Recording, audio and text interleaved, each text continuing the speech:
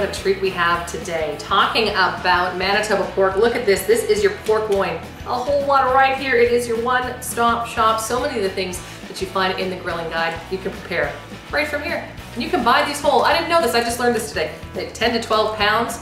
Uh, you can ask your local butcher or grocer. We got this one here from National Meat Sales on Debates. But you can do all kinds of things right here with your pork loin. You can get yourself a roast. You can also uh, cut it into chops, the boneless loin chops. And you can also uh, cube strips, cut it up any way you like for the kebabs, for the satays or uh, for stir fries. So it's all one-stop shopping right here. It's really your most economical way to get the most bang for your buck because you're gonna be able to do all kinds of great stuff. The tenderloin is actually right in here. So it's all self-contained uh, and you can you can pick it up, as I said, at your local butcher, your grocer. Just ask around and it is the one-stop shop, the most bang for your buck, the pork loin. We're gonna cut it up and show you all the different things that you can do. So we're gonna begin cutting up the pork loin. It's really great both to save some money and for a DIY, a do-it-yourselfer, this is easy to do. Now, as I said, it's about 10 pounds or so. So if you're gonna do the roast, as we're gonna start with, you're looking at a three or four pound roast. So you wanna do, you know, 30, 40% of what you got here. So maybe we'll take it to here. This actually is a perfect cut that you can do yourself if you want to make the Moroccan pork roast, which you can find in the grilling guide. So This is what you want to be doing. Uh, just make a nice clean cut and you got yourself your roast and still so much more pork to work with.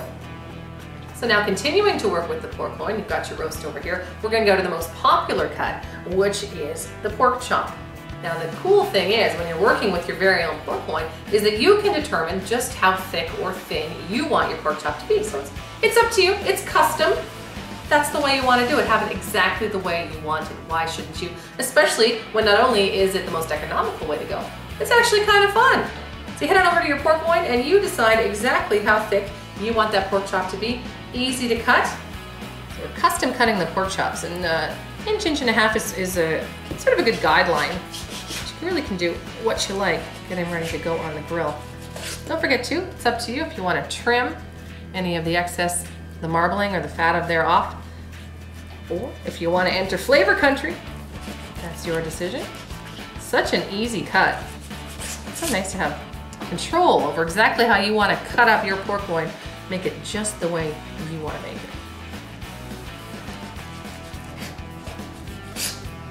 So much you can do with this pork loin. Alrighty, here's what we're gonna do now. You want them for kebabs, you want it for satays, stir fries. Let's start with some cubes.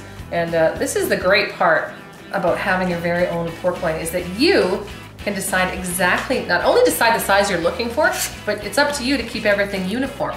Now when you're doing the cubes or the strips, you're gonna wanna have to trim just to keep it as lean as possible, which is so easy to do. And then you're just slice it on up and keep it uniform. So get rid of that there, that's done. And just one cut right down the middle and just cube it. Uniform pieces, as big or as small as you want them, the do-it-yourselfer, and it's actually really kind of fun. Makes anyone feel like a gourmet chef. That easy to do. So there's your cubes for kebabs. If you want strips, that's when you're gonna to want to go a little bit thinner in your cut. Just go straight down.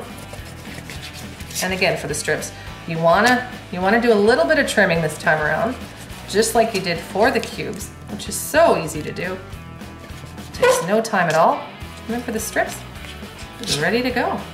So easy to work with, so versatile, and get it done so very, very quickly. Look at those strips. So you got your cubes, you got your chops, you got your roast. You can check out all the recipes to make your best use of all of it at manitobapork.com.